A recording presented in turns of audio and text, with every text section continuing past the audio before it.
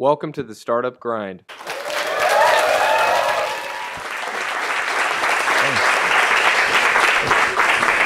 Here you go, standing ovation. Yeah, you didn't have to stand up. By the way, you have to tell full disclosure. So you guys, I got him liquored up. I got him the secret stash of beer. So uh, we should have some interesting stories from Kevin now. Um, so stuff. usually what I try to do is I start it out like maybe getting a little background so people get to know you a little better. Um, so like you know, where, general, where were you from and like, what did your parents do? What's a conventional answer when somebody says, Where are you from? You say, My mother's womb, right? so that's the answer. No, but actually, actually, I was um, born in Minnesota, uh, raised largely in Long Beach, California. Um, my mother, uh, I was raised by a, a single mother, um, and I've got two sisters. Never met my biological father. Um, we lived on borderline poverty. Um, I was that person that had to answer the doors uh, when we couldn't pay our rent uh, and listen to people tell us that they were going to evict us. And the interesting part, which I think that we can maybe talk a little bit about character and then what leads you to do what you what you wish to do, is at 12 years old. It was really funny. I went to I was going to school with one of my schoolmates, and I learned that it was her father that the one that was the one that was trying to evict us. And there's a there's a there's a great story that sort of follows up with that a little bit later on in life, because I can only remember and I and I used to think at that particular point, uh, at 12 years old, that someday that I was going to show that man, and maybe I was going to also thank him too, which as it turned out that I did. But if you ask me toward the end, I'll tell you what happened. So that's just a little bit. I mean, if you've been in Long Beach, you know um, it's a great it's a great city now, but for many years it was a dilapidated city, and that's when I was there. And uh, what, what, like, what was your first job? You know, you maybe your first job after college. First job after college, I was I really want to talk about the first job I had. You know, growing up, I was six years old. All right, let's see, talk I- about see what I was going to do is I'm going to take it away from what. You know what, what is going to be asked, and I'm going to make it like my interview. I'm just, I'm, I'm just, I'm just kidding, Rich. But I actually had this is true. I, I actually had my first job at six years old, and it's actually where I learned some of my skill sets. Um, and I, I and I and I don't say that pejoratively. I really say that in all meaning. And the reason being is because, um, as I said, we were a borderline poverty family, and I mean what I what I did was we had a we had a golf course. It was not that far away, and what happened was is I used to go out there, and I kind of got smarter over time. I'd go there in the morning, and I'd try to find errant golf balls. And then what I would do is in the afternoon, I'd try to sell them to those golfers that lost all those golf balls and turn a profit. And I mean, then I knew that I had to give most of my money to my mom. But then what- I, I did is I got smarter. And what I did is I got to like the 13th, 14th, 15th hole. Those of you who are golfers, you know I talk about, where people start to get low on golf balls. So I'd get over there and I'd like stock up with the balls that I found, and I'd start to I'd start to price gouge them. And, and if you know what smiling golf balls were, I'd throw one in. You know, if they bought an extra one. But the reality of it is, is that it was all very true. Is I mean, I will tell you this much. Um, I used to come home with like three or four dollars, and I'd give my mom usually like 90% of it and keep the rest in my pocket. That was the first job that I had, that I had uh, growing up in life. I can tell you this much: I had a lot of jobs growing up in life. So I mean, I think what it does, it really creates a soul in your in, in, in yourself to understand what you want to do. And I can tell you, I, I worked at a car wash. And I worked at a car wash, not the place where you would typically walk in and you would just, you would wash it from A to Z. You have to get up at five o'clock in the morning, and they would, and, and the guy would say, I'm, I'm only going to need 15 people today, and there'd be maybe 60 or 70 people there, and then you were trying to figure out how to get picked, and so doing that uh, was something that resonated in my mind. Is that something that I want to do the rest of my life? I was 14 years old. I was supposed to be 16, but I tricked him, Rich. And then, and then um, other jobs that just I think sort of I felt really built. I worked at Jack in the Box. Now, how many people work fast food places? let me tell you just you know uh, just i like to tell stories and we'll try to keep it within the time frame but here's one that at least i think some of the guys maybe the, the ladies as well. But how is this? It's friday night you're in high school and you're at the front where the drive through and you've got one of those cool looking like Jack in the Box hats on, and all of a sudden you look up and you see who it is, and it's like the it's the print it's the it's the queen of the school who's coming in with the guys, and you're working at Jack in the Box, and they're all dressed up in their stuff. And I'm and I'm and when when as they drove up, I'm trying to put my hat down, you know, and try to be unnoticed. But I mean, those types of things create a lot of humility. Of course, when you're when you're 16 or 17, those those are things that you kind of learn and you grow from. But but the reality of it is, there's probably not a job. I mean, I, I worked washing dishes. I pushed a I pushed a cart on. I, I cut lawn. I did every type of job. I had paper routes. Paper routes. By the way, that was another one. Just so you know, that I that I had two sisters that I mentioned. I wanted two paper routes but I wanted to figure out how the profit structure could be benefit me versus my sister. So I said, okay, Maureen, who is my oldest sister, you take that, you take that street. Kathy, you take that street. And then I took one route and then the other half, but I'd only give them like 15% of like our gross proceeds. And then the rest of it I kept. So I mean, jokingly, I, and you know, my sisters have never forgotten me for that, by the way. but the reality of it is, is that you know, when you start talking about the art of deal making and, you know, how to figure out whether when you're in the most neophytic, you know, entrepreneurial state, I really kind of look back and I see some of those things that I did at that particular time. And just the last part about the, the paper route. The paper route was a great. The, the, I, will never forget. I needed a paper route because it was it was actually pretty good pay during that time. There's only one problem. When you have a paper route, those of you who are guys who are a little bit more my age, what did you have to have? You had to have a bike, right? You had to have a bike. And so I didn't have a bike, but I went to I went to um, like Walmart, a place it wasn't Walmart, but it was a place like Walmart, and I saw that they sold a bike for twenty nine ninety five a month, and I figured all I needed was one month to trick that lady into being that I had a bike, and then I'd be able to at the end of the month collect all my stuff, collect all my collect all my stuff, get that money and then go and buy that bike and then I could I could admittedly go in there and say I have my bike. So wouldn't you know it two things. On the second to the last day, second to the last day and I'm going I made it through the month. I faked Mrs. Wheeler out. And so I'm walking up this hill and I'm huffing and puffing and she comes driving by and she goes, "Route 11?" That was my route's name by the way. She said, "Where's your bike today?" you know, and she would always say that she would she would fire people if they didn't have bicycles. I said it broke down, it broke down, but it'll be here tomorrow. So what did I do was, it was that, that in fact it was true. I went home, I collected the money, I went down to a place called Zody's, which is like the Walmart, and I bought this bike for twenty nine ninety five. Now you can imagine twenty nine ninety five probably sounds like a lot now, but even then it was not. I mean, like, like little, it wasn't much then. So what I ended up doing was I put the bike together and I was so proud. I was like, I, you know what? I no longer have to lie to the paper route lady. So I got up there and I said, Here, Mrs. Wheeler, here's my Stingray with my paper route. And so what happened was I'm banding my papers and getting them ready, feeling all cool. So what happens? I put the bag on the, on the actual bicycle itself. And guess what happens? it's so weak on the inside that the that the that the hand, handlebars just fell down because they were just completely stripped on the inside. And so she looked at me. She said, "Oh," she goes, "You have." She said, "I can see this is your new bike."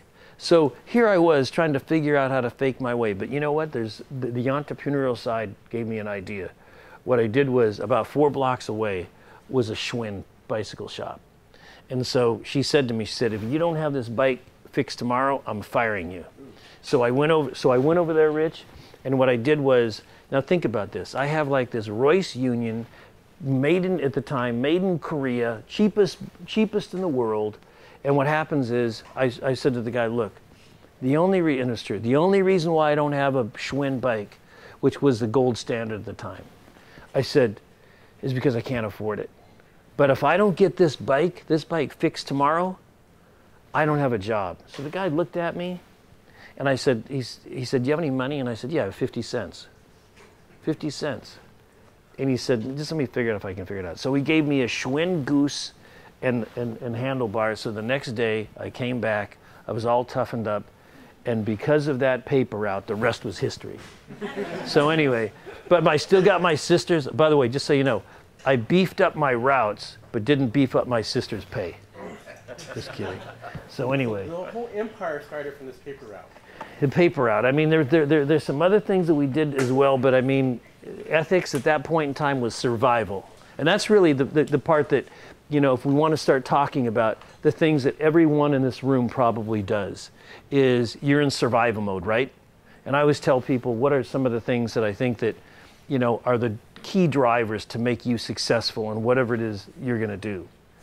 And one is you are in a survival mode. The second part, which I really think is the most important, is to have passion and obsession. You have to have passion and, and, and with what you love to do. What you're doing right now, if you want to be successful, I mean, you have to be obsessed. And that means a lot of sacrifices. It really does. I mean, look, you're here tonight listening to me. Wouldn't you rather be doing other things? But the reality of it is, I tell people, people say, you know what, Kevin?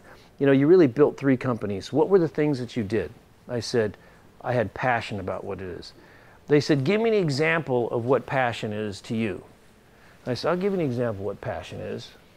Because you have to remember, I was a little bit older at the time because I worked in corporate America for the first 13 years of my career. And I said, well, there's a, I said, you know, I said, here's what passion is. I said, I was working at HealthNet. You guys heard of HealthNet? Now owned by Centene.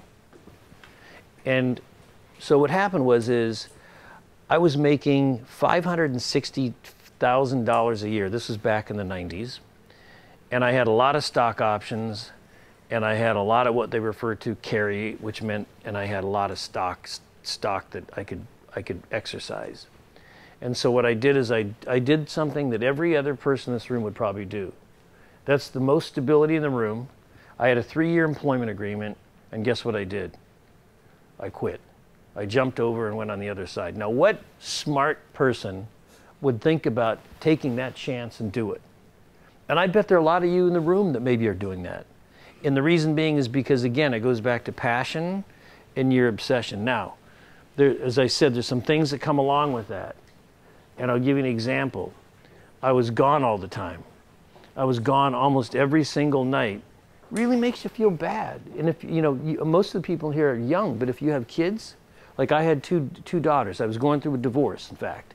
So you, you think about it. Here I was. I was in my late 30s. I was making $560,000 a year. I had all my stock options. And what do I do with the three-year employment? What do I do? I quit. Who would quit? Who would who would be that crazy? And I mean, so my daughters, I was gone all the time. So my daughters were giving me a hard time. Really made me feel bad. But I knew that I had, I, I had that passion. I had to do that. So guess what I did? So I finally got tired of them and of them getting on me. And I said, okay, I got, got them in my car. And I drove him down to the other, the, the part of Sacramento that a lot of people don't like to go to. And I said, Lindsay, Haley, I'm going to be here every single night. I'm going to be home. But that means no more clothes. That means no more toys. That means you're going to have to live here and just do with whatever means we have. Make a long story short, if I was home two nights in a row, they said, Hey, Dad, you sure you don't have to be somewhere? so, in all kidding, they, I mean, I, I, will say this much as far as family, I'm a big believer in family. The one thing I can say about my daughters, even though I was, uh, it was a little bit of a joke, but it was, that, that actually was really true, that did happen is I always tried to make their events. You have to diversify your, your, your, your lifestyle, and you have to. But I mean, I would say if you want to be successful, you have to be absolutely obsessed and driven on what it is that you want to do. Now, does that mean you're going to be successful with it? There's no guarantee on that. And I think everybody in this room probably knows that. But I will guarantee you have a higher degree of success if you, if if if you consume that. Now, boyfriends and girlfriends, they sometimes don't like that. Husbands and wives, as you heard from me, they sometimes don't like that. But part of it is, you know, you have a chance to make a difference. So you, you had this great corporate job, and is that, and then you, this point you actually sort of jumped, and that's where you founded uh, Integrated Pharmaceutical Services. Is that? No, um, actually, what is I, Integrated Pharmaceutical Services was part of actually a legacy company called Foundation Health, which became HealthNet. And, the, and, and there's, there's an interesting story that goes that. to try to, you know, any, I don't know how many of you work for or have worked for corporate America, but it's very, very difficult if you're inside a large organization, I'd say a large traditional organization. A lot of tech companies are a little bit different, although tech companies tend to like to go out and buy other assets and then, to be honest with you, I think screw them up. Because what they do is they try to integrate them into their culture, and, it, and ultimately it just doesn't seem to work. But what in, in the case in, in that particular case, um, what I really did is we started integrated pharmaceutical services. It was it was bootstrapped, and the interesting thing is we built a company really fast. It was um, it was it was a company that was the sixth largest. I largely made I was in the prescription benefit management company. I'm not sure how many of you people know what that is, but in 20 seconds I'll give you a, a, a, an example of what a prescription benefit management company does. The companies that you may recognize are ones like Express Scripts. That's a that's about a 60 billion dollar uh, market cap. Um, CVS Caremark. You see the CVS's. They, they they own one. That's probably about a 90 billion dollar uh, cap. But um, what they do is there's a that they all have branches or divisions of their company, and people don't realize that when you get your prescriptions, um, those of you that do get prescriptions, what's really happens is the technology is done off of, uh, of, of, an ATM, a bank card. And people don't realize that what, what happens is um, what it does, it tests, look for your eligibility for your health insurance coverage. Then it, what it does, it tests to see what prescriptions you're on. It looks to see, you know, what your copay is. It looks to see if that medication is available on the formulary.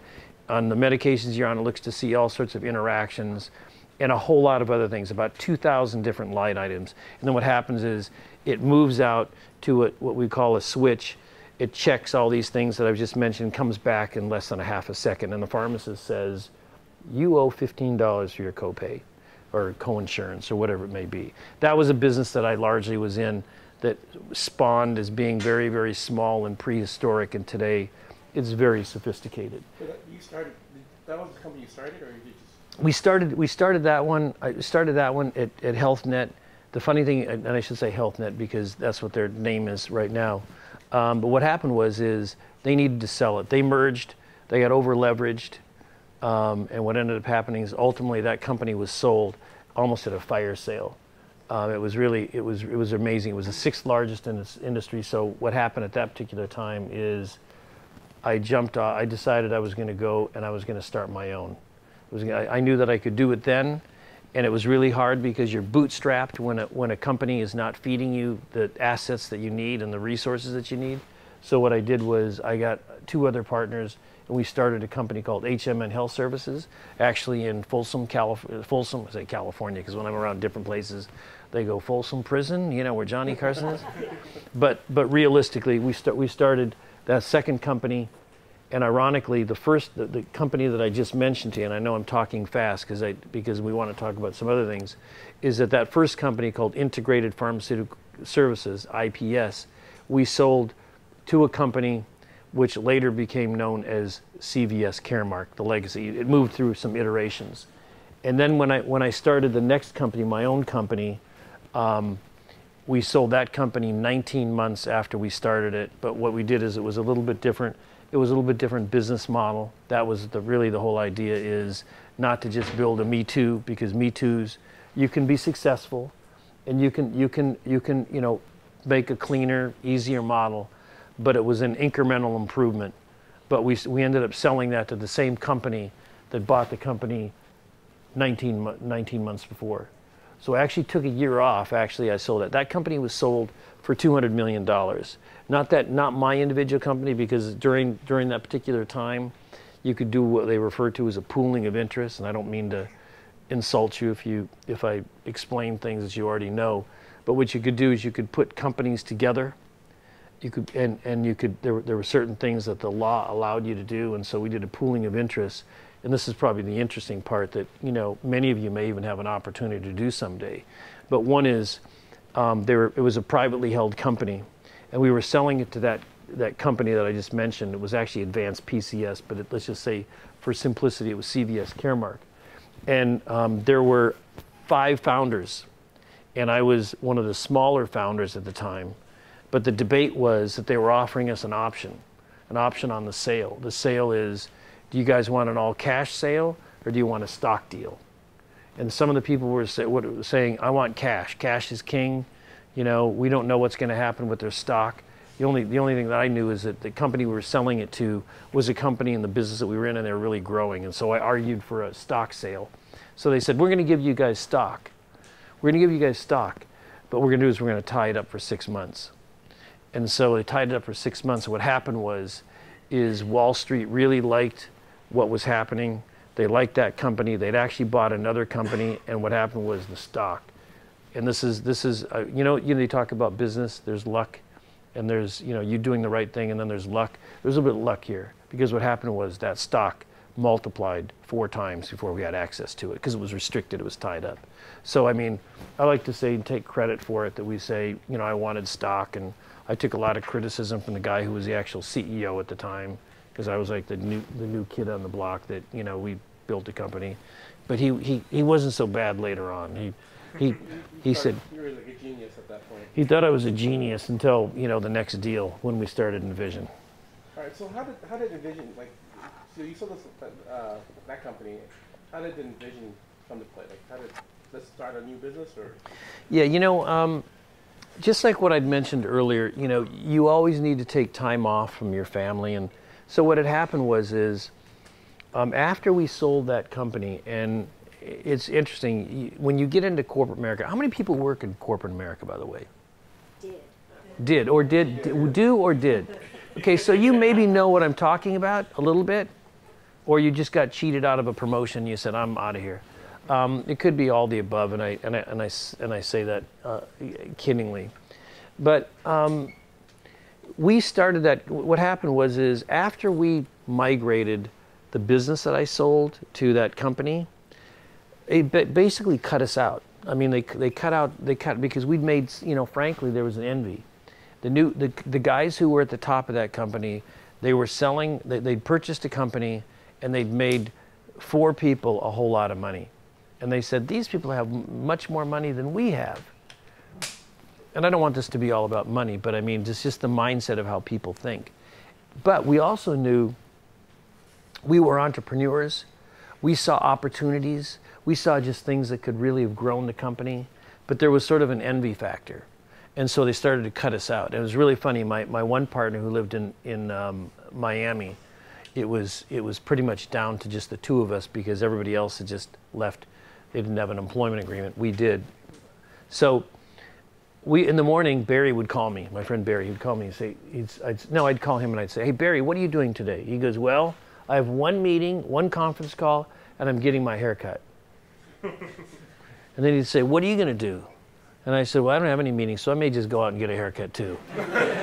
So i mean but so what happened was that was right before 9-11 and what we did do is we decided, you know, they were paying us a big salary, but, you know, when you're still pretty young and you said, you know what, I'm not done yet, I'm hungry, I want more, right? Isn't that what we want to do in this room? Shake your head or you say yes. Okay. So he said, you know, we're not done yet. We're going to go out and we're going to we're going to we're going to go out and we're going to challenge what's out there. So we just we decided we decided that we were going to give our boss the courtesy of flying to Cleveland.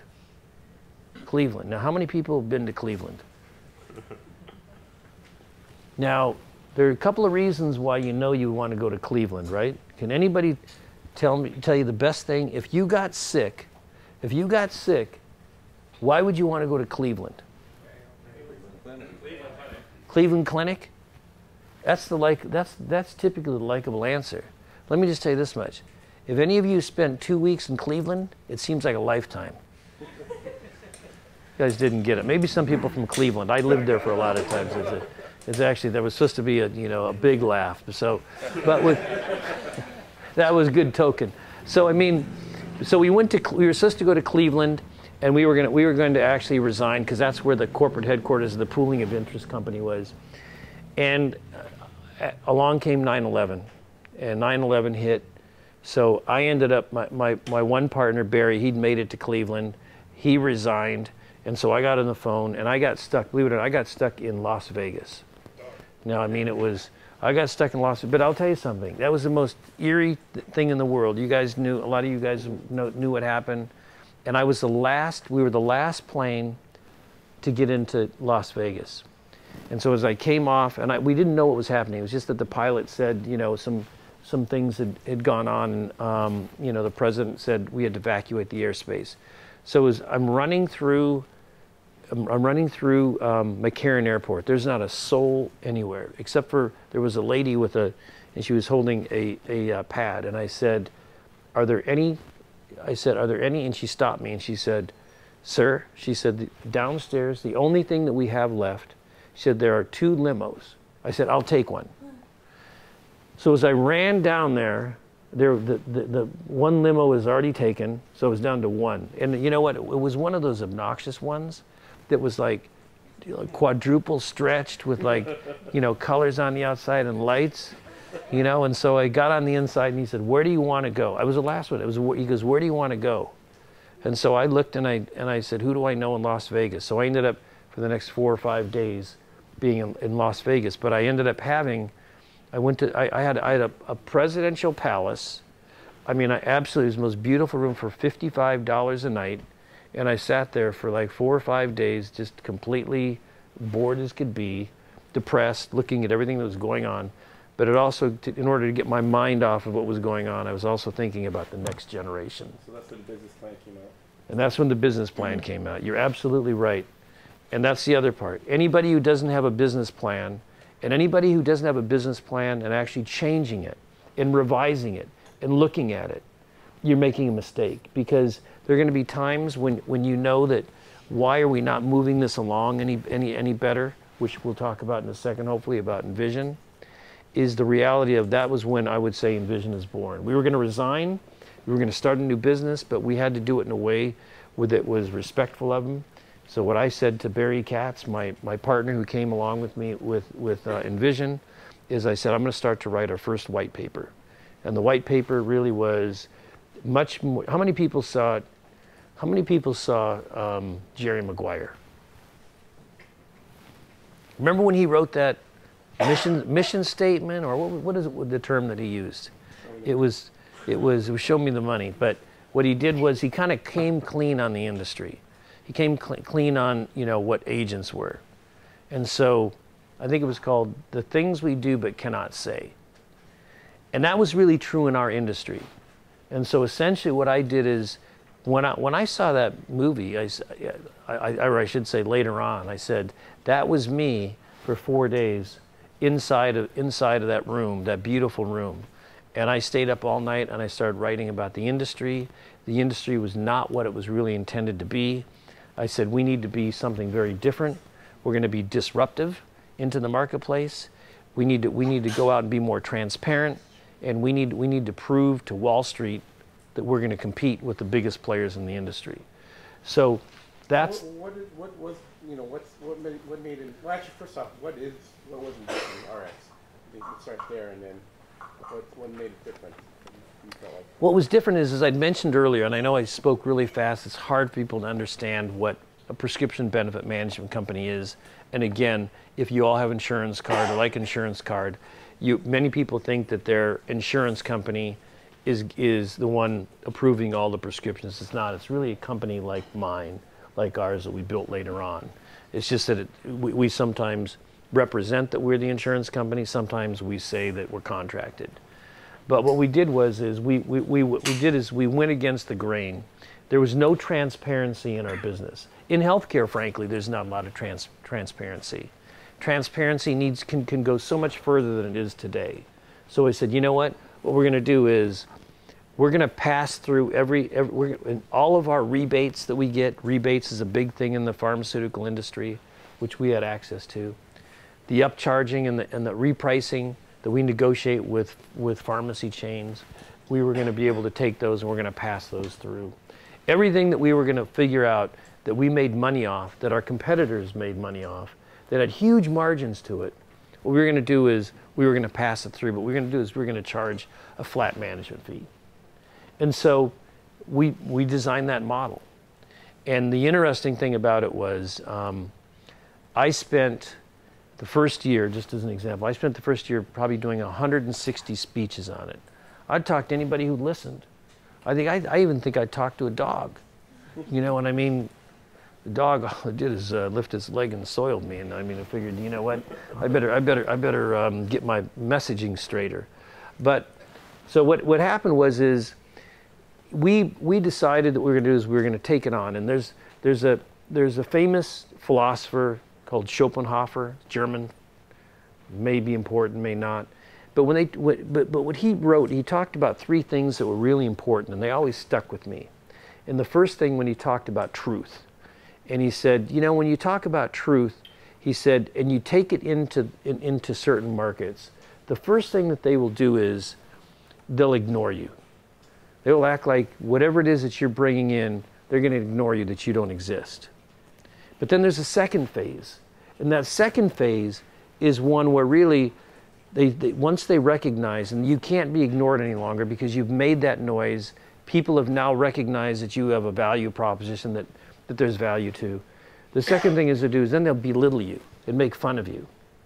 And then the third part, which is really the significant part, is once that happens and you take, take it to the third phase and they realize it's inevitable that you know what, you've carved a part of the marketplace, you're going to be recognized into the marketplace then what they'll do is they will take your idea, they'll embrace it, and act like it's theirs. And that's actually what we faced. We were a small company, and we had, we had something, we carved out a market, and before long, what we're hearing in the marketplace is these large companies were copying our model just on paper, not on execution, not on proof of reality, really just proof of concept. But what they were doing is they're saying, we can do the same thing that Envision did. So we, we faced that for two years. We were bleeding a lot of red ink. The good, good part about our company is that it was well capitalized. Something that I will say, it was well capitalized, but we put millions into it. But as I was telling, I think Rich a little bit before we started, uh, or before we started this tonight, is that there was a point in time we were losing money, we couldn't get any traction, we had our competition. Because when you when you have a disruptive model, and how many how many of you have are designing disruptive models, or is it too early yet? It's, I will guarantee you, if you can figure out that model and how to enter the marketplace, you're going to carve out an opportunity and it's going to be successful. I believe that. I've done it. I've done it two times now. I believe it works. In fact, I know it works.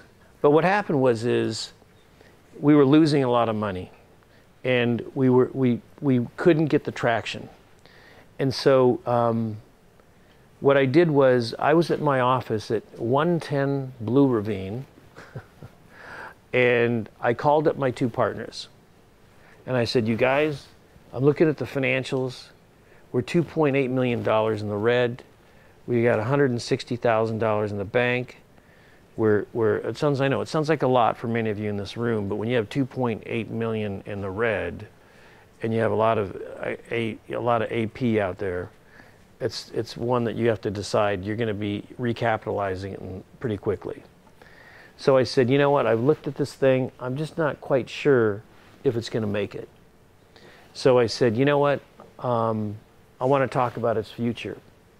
And so we talked about it. We, we were on the phone for about three hours. And the interesting thing is, there were three founders. You heard me talk about Barry Katz. He was in Florida. And, and Jim Mandela, who's my other partner, he was in Cleveland. Remember the place that, and then, then I was out in Sacramento. And a lot of people, by the way, thought that was brilliant because the way our business was, it was an operational place where you had a call center. Like we've got a big call center in, people don't realize that, in El Dorado Hills. You probably have 150, 200 people right there that speak 40 different languages. But said, you know what, we, we've got to think about do we want to go ahead? Do we want to admit that this just couldn't work? And so my two partners said to me, they said, you know what, we'll leave it up to you. We'll do whatever you want. So that was about one o'clock in the morning, my time, and that was four o'clock in the morning their time. I said, okay, you guys, I'll call you in about four or five hours. And then what, and then what happened was we ended up, we ended up, um, I ended up, I should say, thinking about it, trying to figure out what it is that we wanted to do.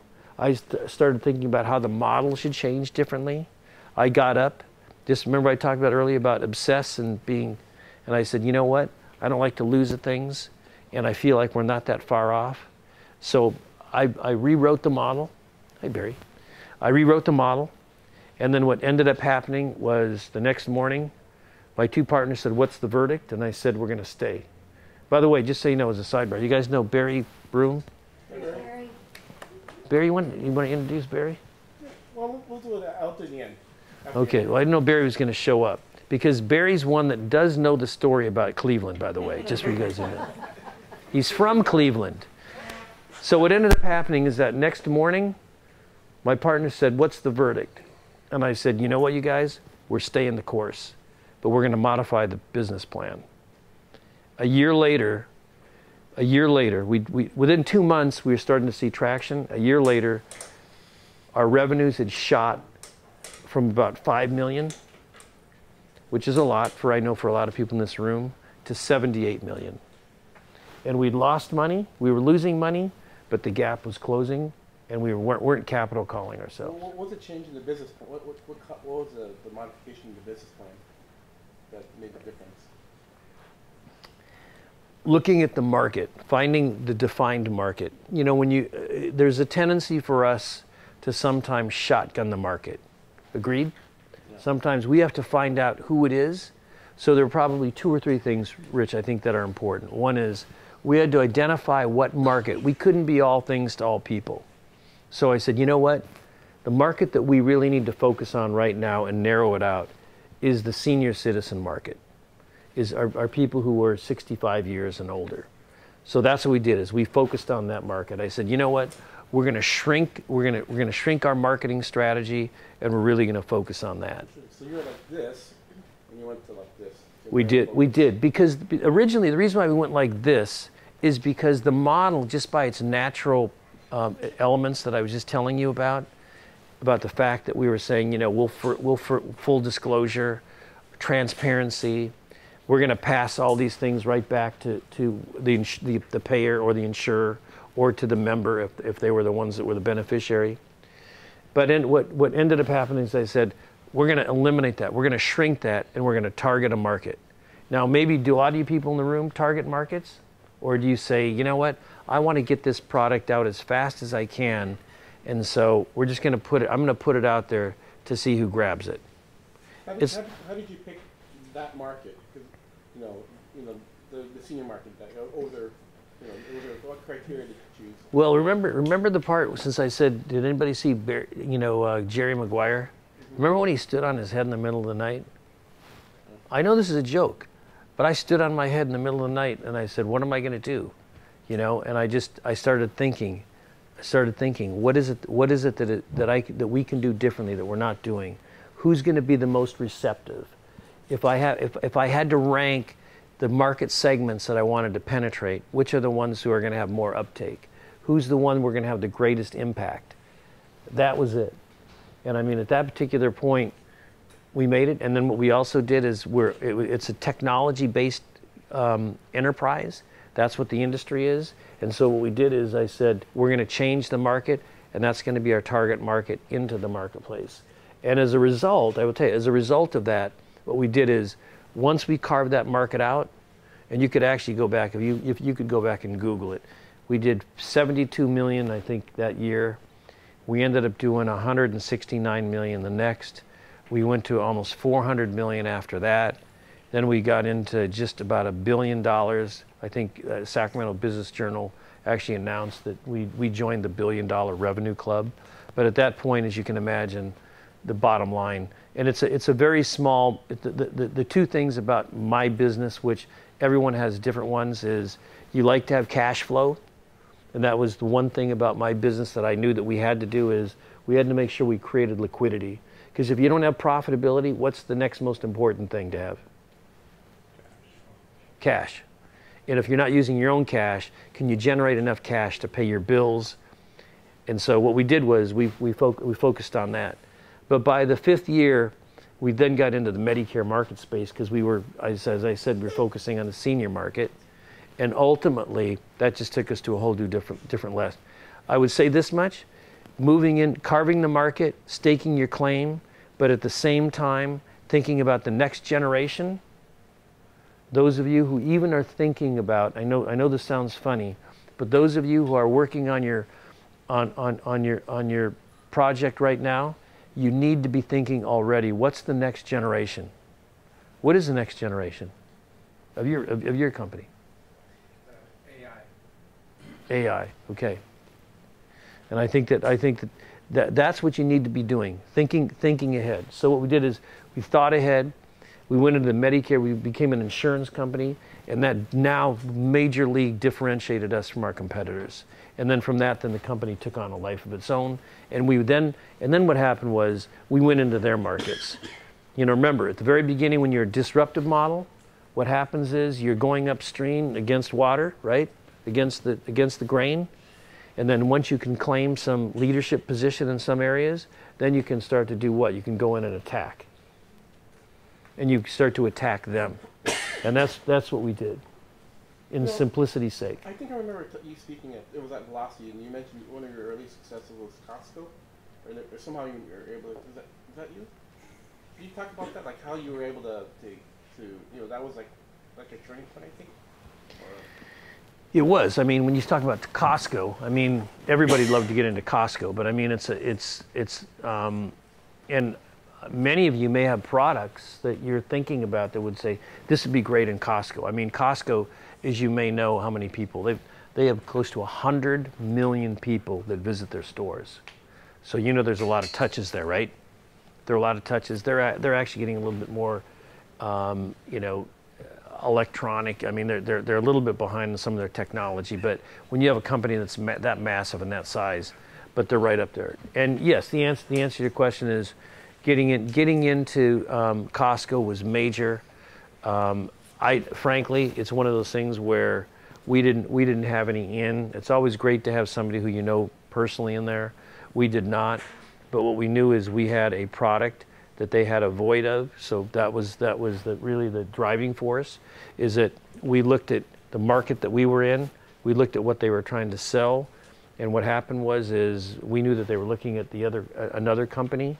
It's because of the intel that we all have in the community. Sometimes when you share information like this, it's good and it can not, sometimes maybe not be so good. So you have to kind of figure that one out for yourselves.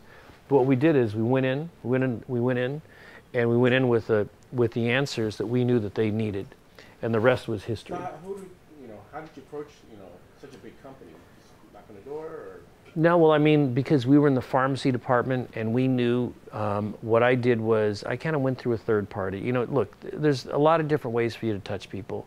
You know, if you don't know somebody directly, is there a third party? And if they believe in your product, will they make an introduction? I understand the vast majority of introductions sometimes don't work, but it's persistence that does work. And I think you guys know that. What does that go back to? What I said at the very beginning. Very simple. You have to be obsessed and you know, I, I- frequently tell this this person, uh, people that, um, you know, and people were calling me all the time. Once we became successful, they would end up saying, they'd say, um, Kevin, I want to sell you life insurance. And I said, you know what? And I'd see what the number, I'd see what the number is, and I, I would remember it, and I wouldn't pick up that phone. I don't know how the guy got my direct line to my office. And you know what? The funny part about it is I needed some life insurance. I saw that number and I picked up the phone and I said, okay, I'm ready to talk to you now. That happened two or three times. Same thing happened with Costco. Um, Costco is very, very difficult to get into, as you may know. If you know how the big boxes work, do you guys know how the big boxes work? If you want to get the, if, if you want to, if you want to get into their their business, what happens is you'll walk in and first of all you you have to at least get an appointment. And let's say whatever it is you're going to sell they're going to say okay you want electronics. And they will they will say all right come into your office. You're going to have exactly eight minutes eight minutes to sell your product to them. That means from the time you get in there sit down and talk to them and convince them what it is that what you have to do. And at eight minutes if you're not done if you're not done, then they'll say, sorry, time's up. Thank you very much. If you want to leave your, your product here or the information that you have, you know, we'll contact you. And so what happened was is um, we did that. We did that. We knew already. It was one of those things that you have to. We had we had actually three or four different presentations. but we only used one because we wanted to see how they were reacting. And then because I had my, my other partner there, and we did a switch. It's one of those things where, just like what I'd mentioned before, is over prepare. You know, over prepare. I will just say right now, I look at a lot of deals. I look at deals every single day. If you ask me what's the number one thing that is the deal killer, it's the fact that people are not prepared. That they can't they can't articulate their message really clear because I don't know a lot about about what you folks have to say. I mean about your product. But it could really be super useful or it could have a lot of traction that I can that I can see if it was told clearly. But people because they know it so much, they come in, their decks are sloppy, and I would tell you this much: shine up your deck and make sure it's as. And, and I think um, I was talking to a couple people here uh, about about that. But I think it's really important you have your decks shined. How many people have a deck right now that you could pull it out and show me? Is it clean? Have you showed it to other people? Have you showed it to other people? And, and you, can you ask them back to say, I know what you mean, and I, under, I understand it. And then you ask them, tell me what are the three things that you remember about this? Remember, this is a, we live in a society, as smart as you guys are all in the room, you're a lot smarter than I am, I'll tell you. You have to ask, you have to keep it really simple. But I, but I would say, Rich, what are the three things that you remember about what I just shared with you? Three, not five, not six, not seven, but three. But if they can tell you that, then you know, then what you've done is that you can make sure that that deck is correct. And you also have to make sure your financials are accurate. As bad as they are, the part on the pro forma is the part that you want to be a little creative, okay? They can, they, can, they can argue with you on that, but the reality of it is, is make sure your financials are accurate. But I mean, a lot of these things, as you know, are simple, but these, I, I will tell you, are all things that I actually follow, at least me personally, and my others as well. And it's what I recommend to others as well. And that's the reason, hopefully, maybe a couple of these things that I've talked about, you know, are, are, are, are resonating. Maybe they're not. Maybe they're saying, this guy says, look at that guy, an old codger with the, nobody's got a tie on. Even Barry doesn't even have a tie on. You know, Barry took his tie. He wanted to be cool and look like you. You know, but instead, you know, you got me. You know, but there, but there, uh, you know, there are a lot of things that you know. I think that you can, you can, you know, really make sure that you can you can do better. But I would say, take your presentation, shine it up, make sure that you talk to people. I will tell you one thing, you know, GSAC, you know, which is where Barry, what Barry runs. Those presentations are as tight as can be. They can criticize it, they can take it apart to say, you know what, we don't want to go to Sacramento because we think.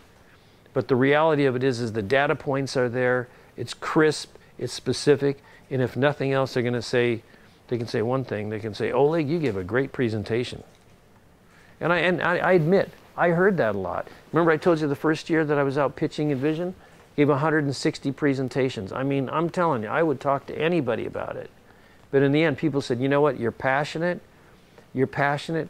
I can tell you know what you're talking about. We'll get back to you. Hey, and if we had three or four people that responded, then that's three or four than, than I had before. And that's what you need. And that's what you need as you're developing your products in the various phases. So I'm going to actually open up for questions from the audience. So, anybody have a question for Kevin? I always just say this much there's no such thing as a dumb, stupid question.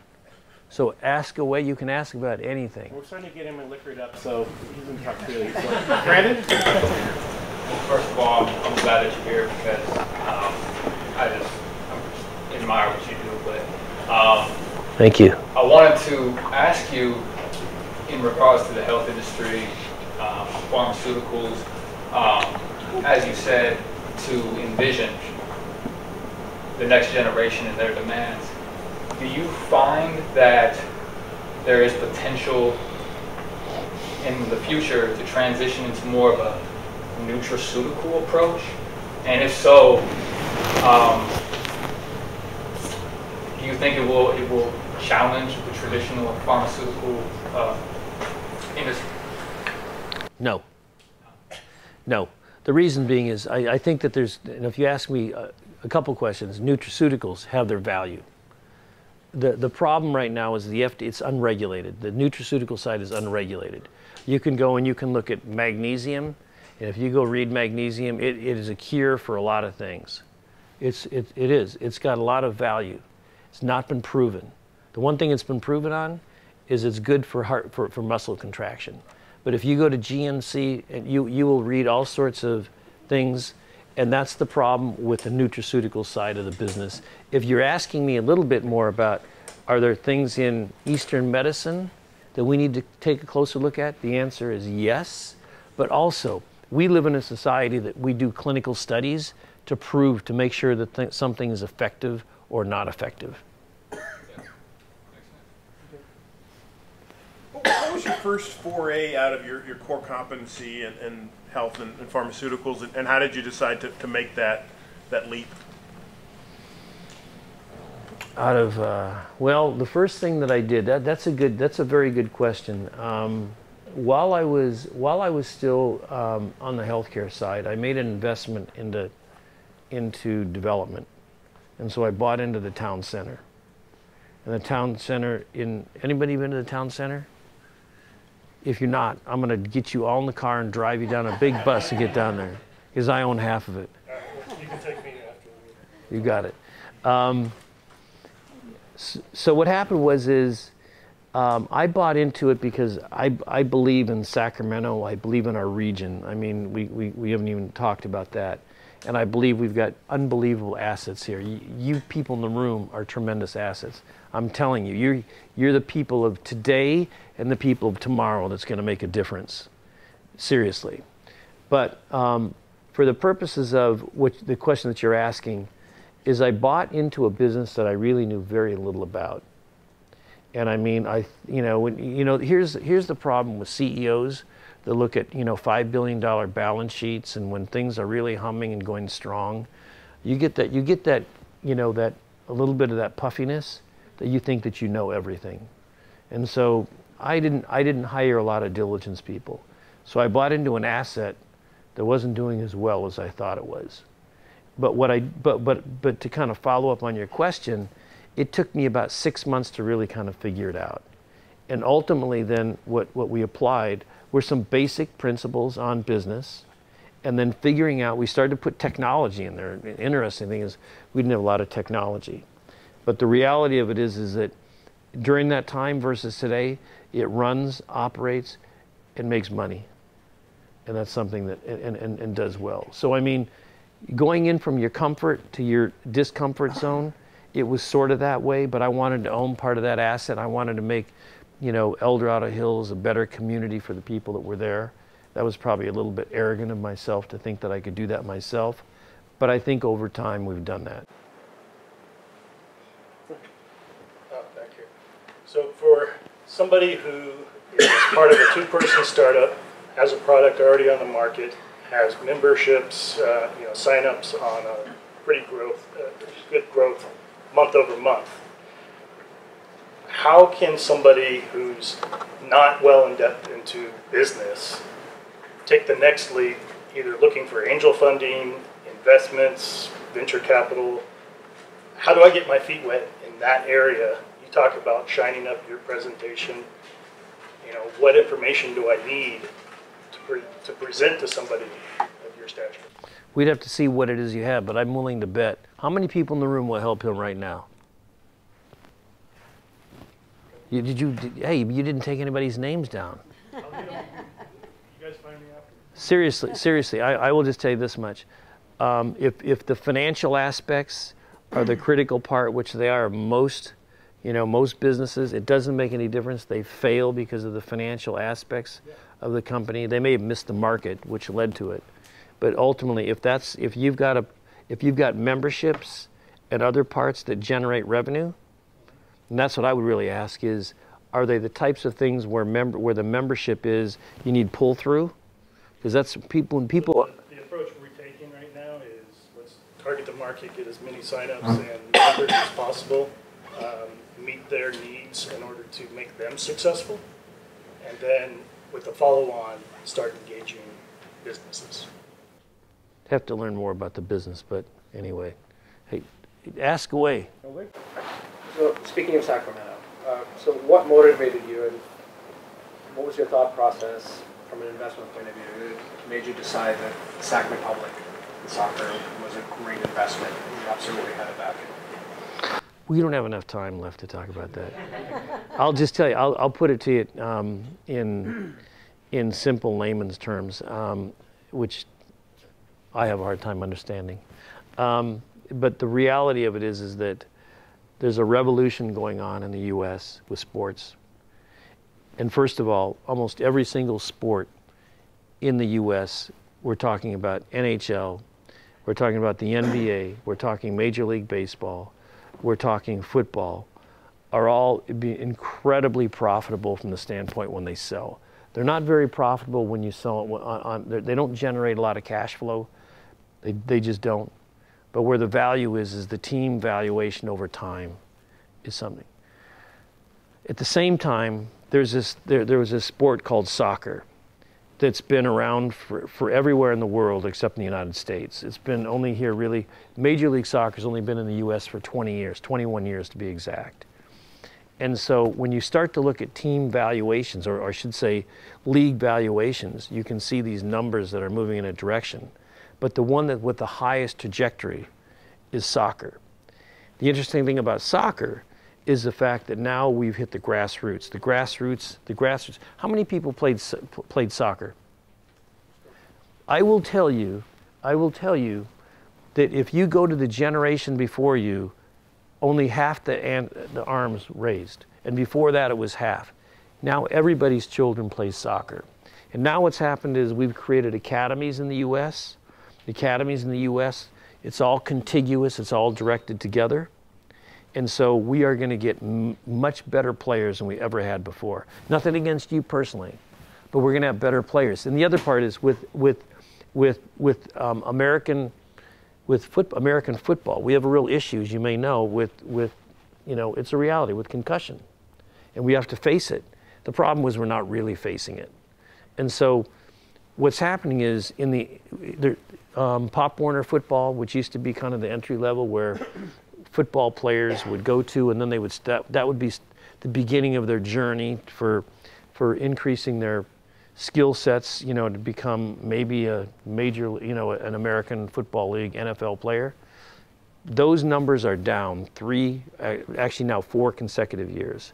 If you look at the growth and the number of people who are in soccer, Sacramento is an example. We have one of the largest soccer recreation academy select um, and then even those who are, I'll say Oleg, who are over 28, over 28 playing.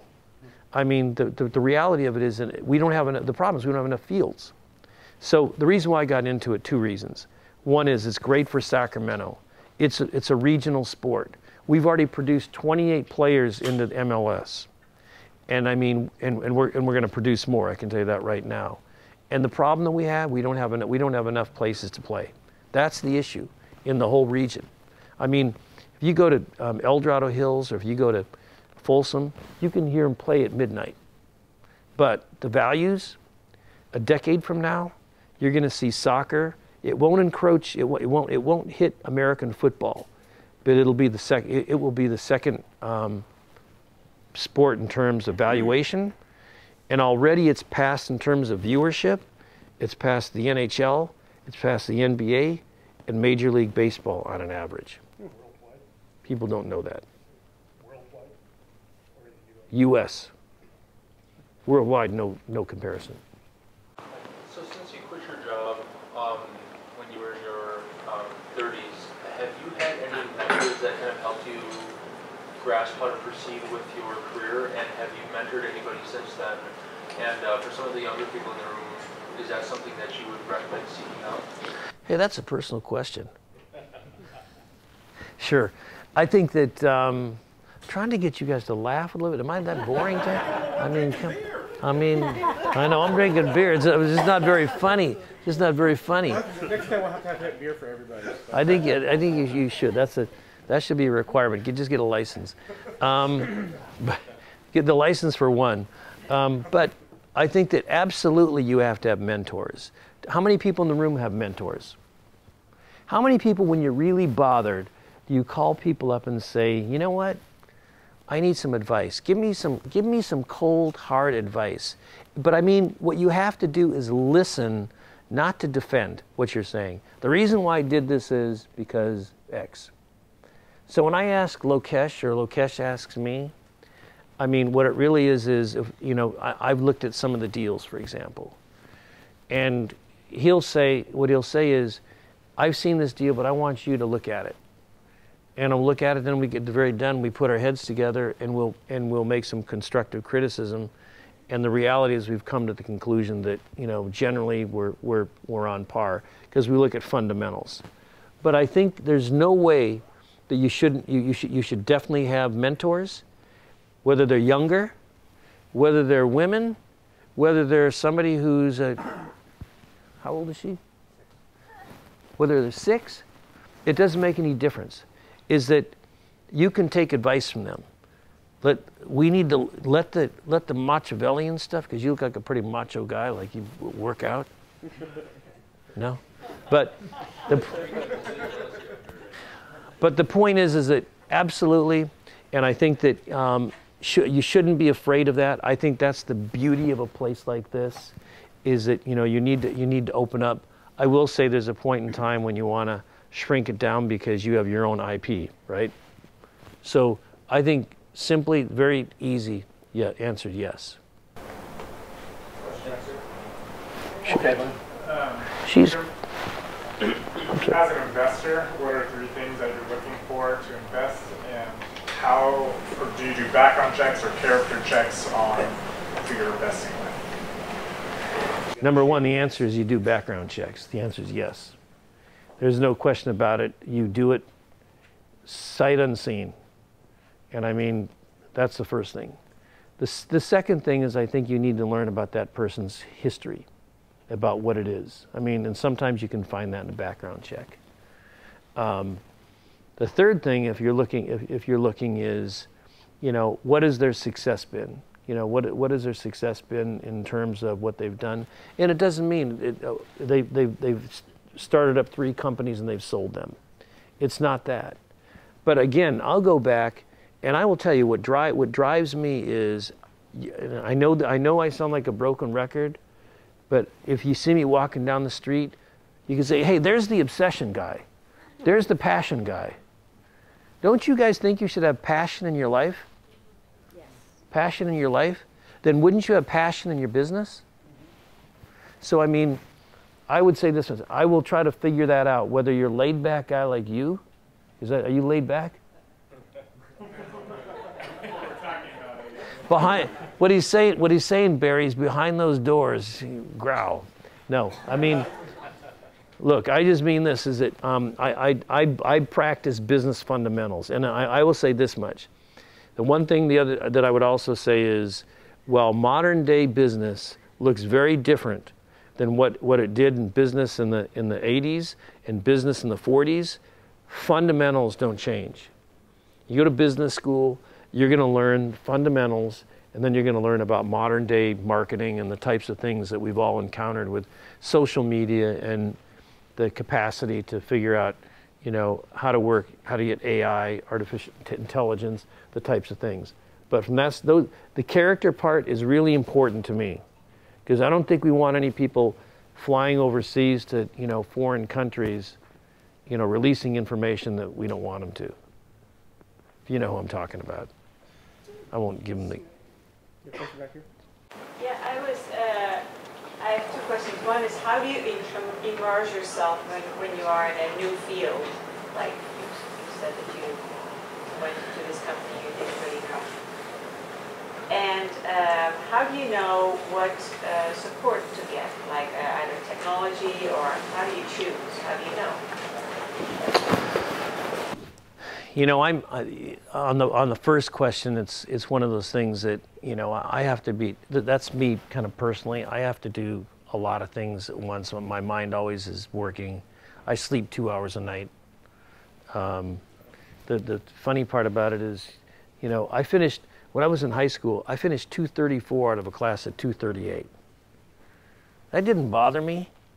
But when the principal said that this was a dumb, stupid class with not much talent or ability, that's what bothered me because I figured, hey, if you were too, if we had a smart class, you know, I'd rise to the top.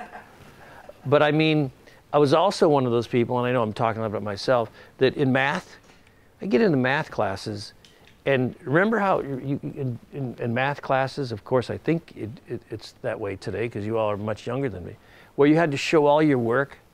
Remember that you had to show all your work? Well, I was one of those people where I'd calculate it in my head, and I'd get to like the last part of the answer, and then I'd get I'd get the I'd get the teacher would give me like 50% credit. I said, why do you get 50% credit? Was the answer wrong? She goes, no, you didn't show your work. So you know what I really liked? I like taking like the I, I like taking like the SAT scores. The reason being is they'd say, Kevin, you score 94% or whatever the number is. You scored 94%, but then you're only getting a C in, in, in you know, trigonometry. And I said, that's because I don't have to show the work here. But I, I think the point is that my mind works quickly, and I think that it's, it's just one of those things. I have to be involved in a lot of things. Barry knows it. Um, you know, I'm involved everything from private equity to venture capital. Um, starting a company called Jaguar, which I think if you have time, he- he'll ask a question about it. I think it's going to be really cool. Um, but really, um, this is all for the greater part of Sacramento. And your second question was, How do you know what course to choose, like technology or how do you know what to, what to, what what profession to choose? You mean? I think that you don't. I mean, but what you do do is you make sure that you don't do too many things that you don't know what you're in. Like I knew healthcare. Healthcare, I grew into that business. It was it was part of me, and I mean that's the reason why when I my first venture that I stepped out, that was something that I knew. I knew that there were some opportunities. It was you know I've got a great story about you know almost being fired from corporate America because I said we need to do this to survive and the reality of it was I could just see it. I, I could just see it. And that's just, I'm not saying that I'm something special, but I think what you really ought to do, unless you absolutely dislike what you dislike what you are you, you are focusing on right now, go to something that you have a what? What's the word that I've been passion. Is there anything tell me something? I mean, am I not right? Is it is it is am I not right about that? Because because if you make a choice, let's say you make a choice, do I want to go to a ball game? Do I want to go to a, a, a Sac a Kings game, or a Sac Republic game, or do I want to go work on my project to get it off the ground? You know what I would tell you to do? Go to a Kings game. No, I would say, go work on your project. I mean, work on it, and you obsess until you get it right. And you know, uh, the, or while you're down at the town center but but again, you know, sometimes sometimes you run out of money, and I and I have to tell you guys this. You know, um, you know, money is tight. We, we we talked a little bit about that before, and at the I was I have to tell you something. I was at the time I was married that I was telling you about. I I we money was really tight, and I was trying to figure out did I want to break away and start my own business, and um, the credit cards are really getting high, and then all of a sudden, I noticed, you know, that credit card bills from my wife at the time they were dropping down. And i and i I wasn't saying that. All of a sudden she came to me and she said i have an admission to make. I said what's what's the admission? She said the credit card was stolen. And i said don't stop it she said why and i said because the thief is spending less than you are so so i mean now, I hope this isn't on you because if she does, she's going to come back. To, no, no. But I mean, I think that, look, we understand money is always an issue in this thing. And I mean, the great thing about it is you've got, you know, you've got a couple of places to choose from in Sacramento. That's one of the reasons why I, I really joined up with, with you know, Moneta. Um, I saw what the first $25 million did and how it's performing. Um, I don't want to take away, um, you know, uh, Lokesh's, you know, thunder, but we were going to build another 25 million, and he's going to tell you it's a lot more. I want to go for a hundred million dollar fund, and he said, you know, I think that that's maybe too aggressive, so we'll have to figure out. There's, there's, an, there, we're ready for a hundred million dollar fund now. What does that mean? What, what does that mean? What does that mean? What that means is the fact that people, we don't have to go hunting over to Silicon Valley and other places and beg for money. It just doesn't. You know, the one thing when I start talking about Sacramento is we can really hold our heads high. We really do. We've got smarter, I'll tell you, we've got smarter people. Anybody looked at like UC Davis, where they rank in terms of medical and, and other areas? We're, it, it's top 25 in so many areas. I mean, we, we have something really to really be proud of. But for whatever reason, the one thing I noticed that when I moved here from Southern California, people kind of, they're proud to be Sacramentoans. But on the other hand, they kind of said, they say, you know what, we're the place between, between San Francisco and Lake Tahoe. We don't need to say that. We don't need to say that. So we're going to have our own, we're going to have our own funds. We're going to get, we're going to have incubators, just like accelerators. We're going to make sure that we have an excess, so we have an issue, and that means then we've got to grow. So can you tell, tell me about the, since you mentioned it, what's the Jaguar Ventures? Jaguar Ventures. See, I, I said he should ask me about it. I'm sorry, I can't tell you, it's secret. Um, Jaguar Ventures is going to be a, a, venture where actually I have, we we have some of our, um, some of our projects that I've already invested in right now, but also it's going to be, um, it's going to have fund capability as well, limited fund capability, that I think that it won't really, it won't necessarily really um, interrupt with what we're trying to uh, create in the cadence in terms of Sacramento. But what it's going to be able to do, it's going to almost be like, you guys know what reinsurance is when you, when there's too much of one thing, but you, but the insurance company won't give you additional insurance. And then what you can do is, where can I go? That you go get reinsurance. And what I, what I want to do is I want to create a fund in there, inside of there, that's going to be additional dollars so that we can be able to feed other opportunities that we have in Sacramento. John? Uh, Question for you in terms of what do you think it's going to take for this region to produce two or three more billion dollar tech companies? Is it just capital or is it capital?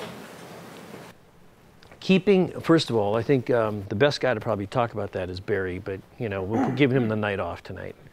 Um, Barry's like me, by the way. He can't wait to hear what he says next, and neither can I. so, that I think that um, I'd love to be able to say that we're going to have billion dollar companies, and I think we will. You know, I think we will. I'd rather, frankly, I'd rather have 30, 40, 50, 60, 100 million dollar companies because then what's going to happen is it's geometric in, in progression. And I mean, what we really need to do is we need to keep our, in, you know, our intellectual people here instead of them moving to moving to San Francisco or moving to moving to places, you know, like Silicon Valley because that's cool to move there. Look, if you if you go back and you look 30 years ago, I'm not even sure what the time frame is. Do you think Austin, Texas was a cool place to live? It wasn't. They had a great university there. It's a great place to go to now. But they focused on that. I mean, and, and what they have right now is a really great place. And I mean, the, the issue I think we have is that we're close to, you know, San Jose, we're close to San Francisco, Silicon Valley's there. So is there room for Sacramento? Absolutely. We just don't need to be a capital, but we need to keep our intellectual property, and that's, that's human capital for my Our human capital, we need to keep them here. That means creating jobs coming up with ideas like what you folks are doing right now, what you're, what you're doing right now, and then making sure that people like me and Lokesh and DCA and who else can fund you, can fund what you need, and make sure that we, that we, that we work off of that. I know that's a high level answer, but it's the answer that's the truth. Yeah, one more question left. All right, go ahead. Hi, Daniel. Thank you for your time tonight. If you're new to a market and you have a variance in a product or strategy or, or business idea, um, how do you compete with the big players um, when you get to the point when they're trying to take your idea or product? How do you protect yourself and compete in that market? It's a great question, and uh, I've experienced it. Um, one is, uh, remember I talked, I, I, maybe didn't say very clearly, but you know what happens there are, are large companies. You know the one thing about large companies, they're not very good about coming up with new ideas. As you know, once they get large, they get so bureaucratic, that the reality of it is is they just can't come up with new ideas. So what they try to do is they try to steal other people's ideas. And I don't want to say that for everyone, but the reality of it is is that I say that because just take a look as I'd mentioned earlier about the number of large companies. Uh, and, I'll, and I'll say this much. I love and respect, and we'll answer your question. I love and respect Microsoft. But who do they buy today? LinkedIn. LinkedIn. Now, I'm going to try to see how well they integrate LinkedIn or do whatever they do with LinkedIn because every company that I've seen Microsoft buy, they've, they, they've managed to just run into the ground. That same thing is true, by the way, I'm sorry to say, with our friends, you know, over at Intel. Great company, fabulous product. The culture that they know. What is, it, what is the culture that they know what to do?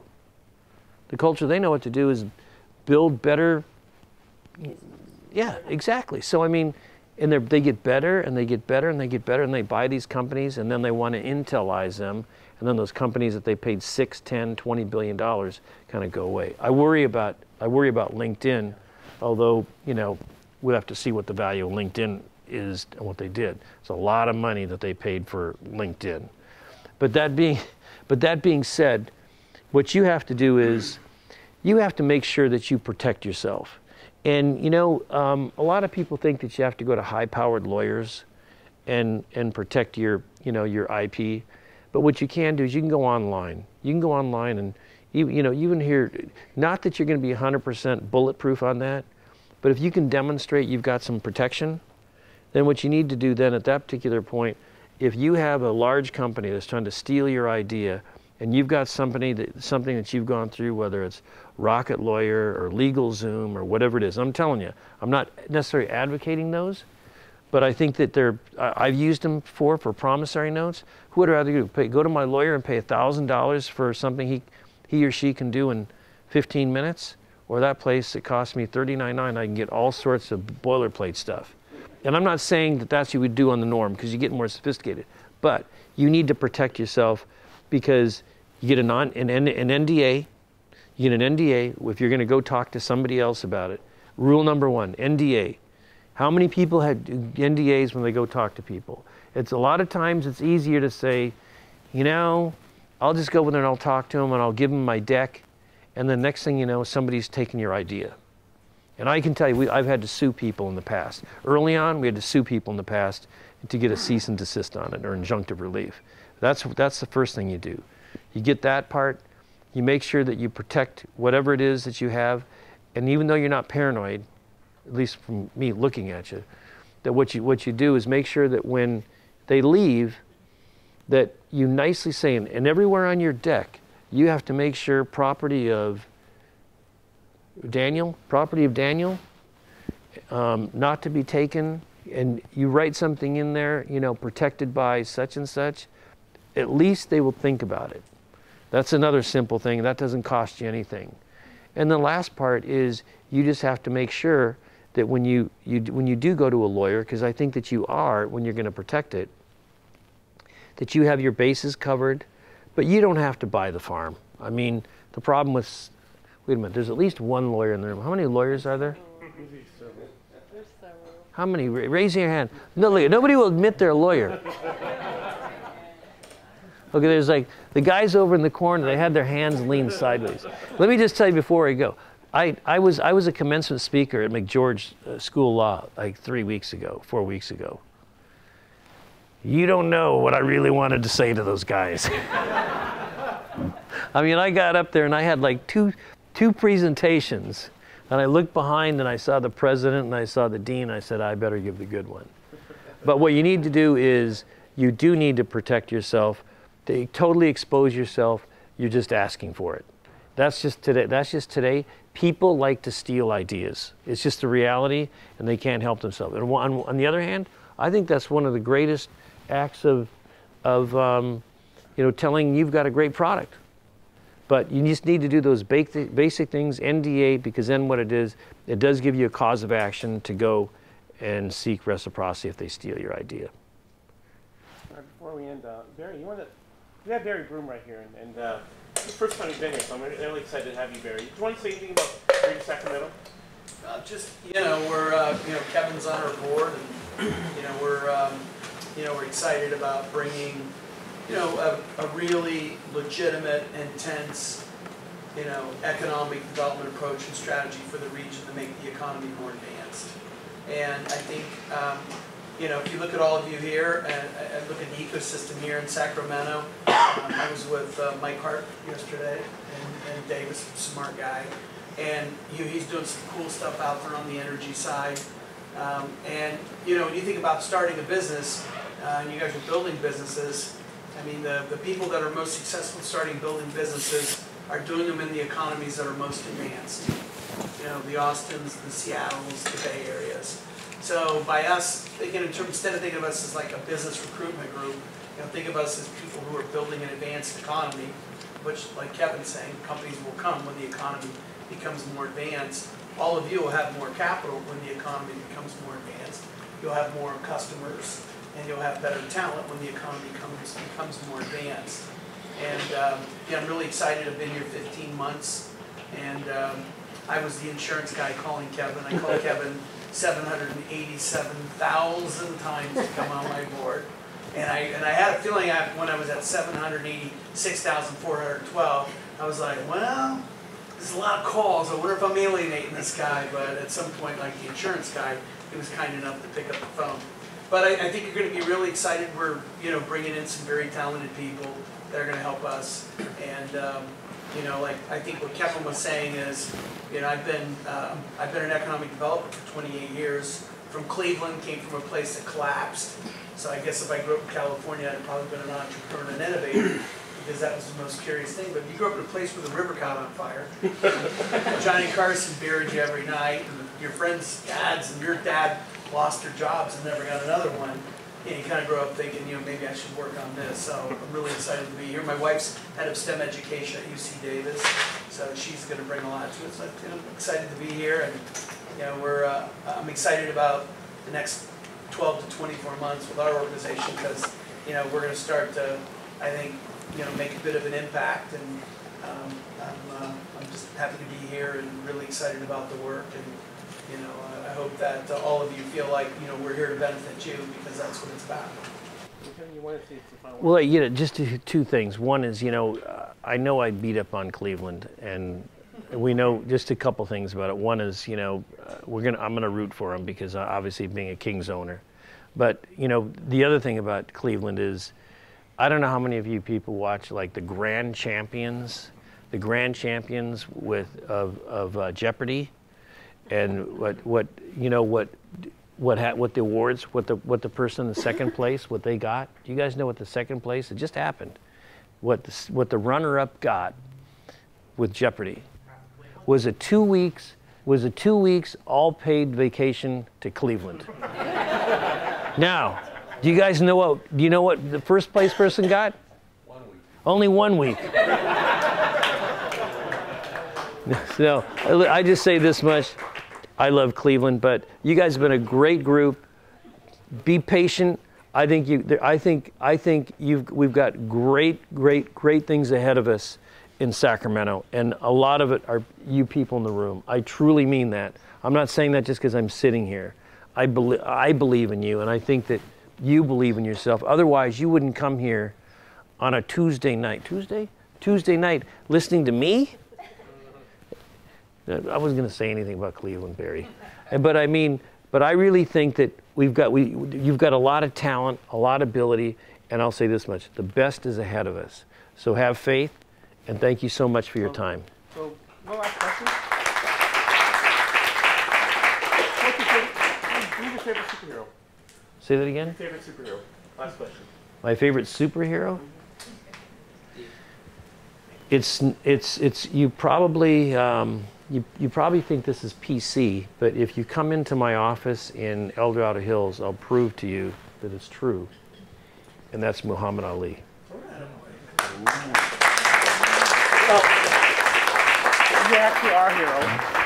Uh, so we actually made a video game out of you. So it works on the Android, and you know we wanted to thank you for uh, coming here and uh, supporting our community. So Thanks, guys. Appreciate it.